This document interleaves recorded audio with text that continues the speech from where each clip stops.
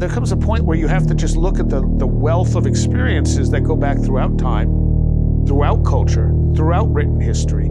They're named different things, but those experiences are the same. It should not be ignored. And whereas, even though we can't identify exactly what it is, accepting that this is real, it happens to people, it's always happened to people, is the first step in making any progress toward working with it, understanding it. We can't just lock it in a lab and make it appear. Do you believe in aliens?